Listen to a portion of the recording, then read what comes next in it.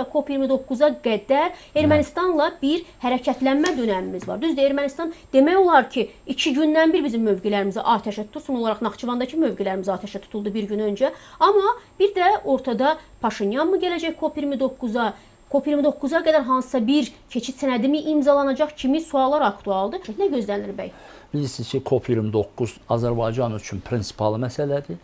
Yeni yaratdığı, ötən ilin 19-20 sentyabrında yaratdığı vəziyyətin, reallığın, yəni status quo deyirlər politologiyada buna. Yeni status quo-nun tacıdır. Onun qəbuludur dünyada. 200-dən çox dövlətin səsi ilə Azərbaycana keçib. Bu ax burada çox incə bir məqam var. Ermənistan kopa gələcəkmi, gəlməyəcəkmi sualı məhz burdadır. Ötən ilin dekabrında Ermənistan da iddiaçılardan biri idi.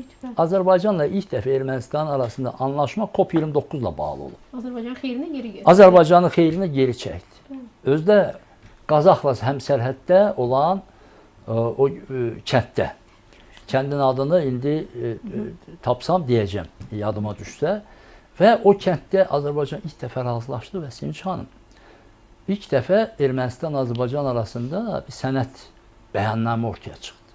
7 dekabr 2023-cü il bəyannaməsi.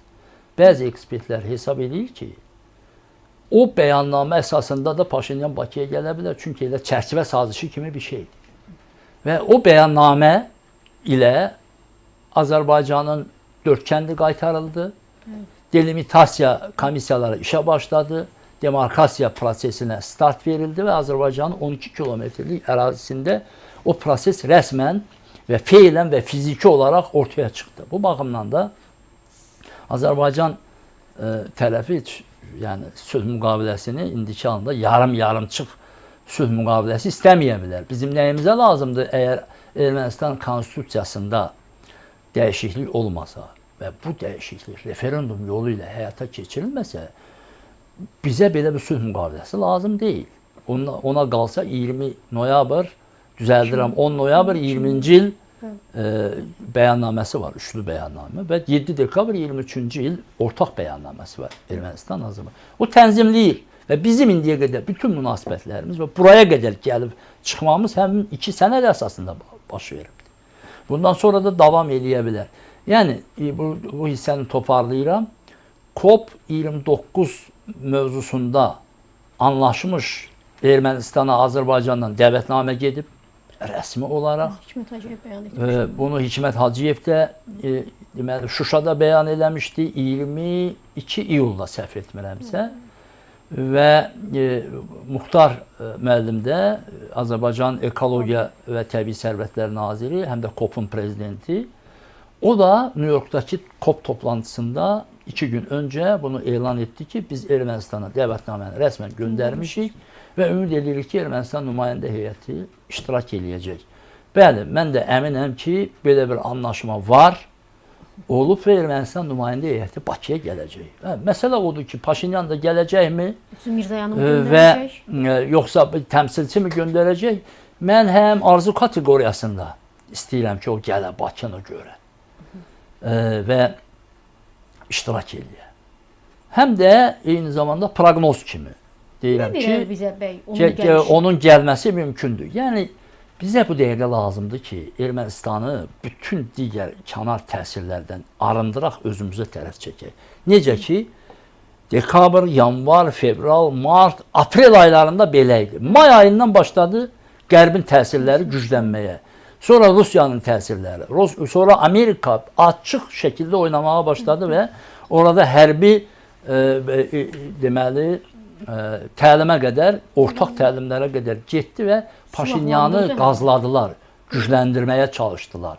Ona söz verdilər, vəd verdilər. Bir tərəfdən Fransa, bir tərəfdən Avropa Birliyi, bir tərəfdən Amerika, bir tərəfdən Rusiya.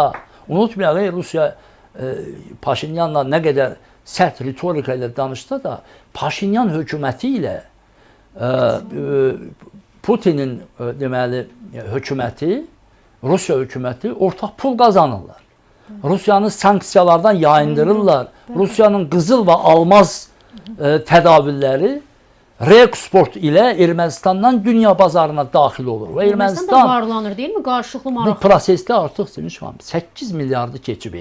Balaca bir Ermənistanın Rusiya ilə ticari dövrəsi 8 milyardı keçib və Overçuk baş nazirin müavini dedi ki, bu ilin sonunda 14-16 milyardı keçəcək e, bu Dövriyyə. dövriyyə, ticari dövriyyə. Azərbaycanda heç belə rəqəm yoxdur.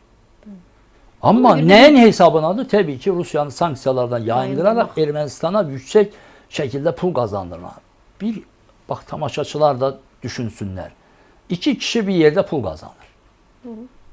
Bunlar dalaşmağı təbii ki, digər ortaqlara teatr kimi görünəcək. Bəli. İndi Ermənistan və Rusiya bir yerdə böyük pul qazanırlar. Bizə indi lazımdır ki, bax deyirsiniz Paşinyanın gəlməsi bizə nə verir? Birincisi Azərbaycanın necə inkişaf etdiyini, Ermənistandan nə dərəcədə üstün olduğunu və belə bir partnyor olarsa gələcəkdə Ermənistanın da qalxınmasına necə e, kömək edə biləcəyini, Ermənistanın dalan dövlətindən çıxara biləcəyini onun üçün anladır. Ermənilər axı, Gözü ilə görür. hə? axı ermənilər ideoloji millətdir. Bəli. Və ideoloji millət olduğu üçün Türkiyə, Azərbaycan türklərinə də ümumiyyətlə türk anlayışına bir nifrət var. Çünki onların ideologiyası anti-türkizm üzərində qurulur. Bu baxımdan bax bu məsafələrin e, yaxınlaşması, kontrolun biz tərəfdə olması və e, COP29 ilə bağlı Azərbaycanın dünyaya verdiyi mesaj. Çünki Azərbaycan bu dəqiqə, bax bu an belə Qərb mediası erməni pulu ilə, erməni lobbisinin pulu ilə Azərbaycanın üstünə gəlir ki, Azərbaycan Ermənistanın yeni ərazilərini işğal edəcək. Amerika senatında dinləmələr başlayır ki, ə, Azərbaycan Ermənistanda ə, düzəldirəm Qarabağda etnik təmizləməyə təmizləmə həyata keçirib. Bu prosesin hamısının durdurulması üçün Paşinyanı nə şəkildəsə buraya gətirmək lazım. Bakıda onun şəklini çəkmək. Velosiped verib yollarımız da var.